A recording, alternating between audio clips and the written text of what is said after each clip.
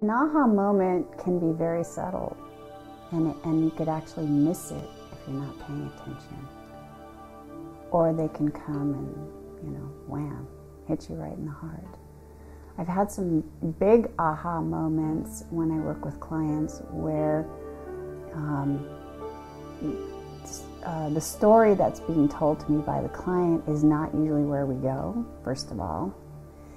And when we actually get to the bottom of the unconscious obstruction that's preventing them from moving forward, it's usually completely something different than what they thought of in the first place because their conscious mind cannot access that level. They just can't. That's where it was created.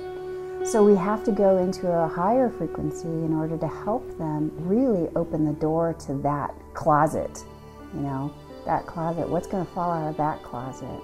And a lot of people sometimes are afraid to do that.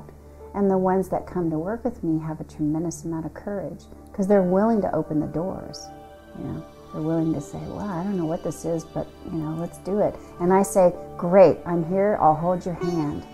I'll facilitate that for you. And then when they leave the experience of working with me, there's a calmness to their voice. There's a peacefulness. There's a centeredness. It's, it's different. I don't know how to explain it. It's just different. They're moving more from the core of who they are rather than from some exterior concept of who they think they should be or who others think they should be. And they pull that veil away, and all of a sudden they're standing there. And sometimes they feel like wet butterflies, you know? They're just standing there, they're all sticky and gooey, like, whoa. And I say, don't, don't worry. You're better than okay. Don't worry. You're going to dry out. Everything's going to be fine. You're better than okay. And we need that.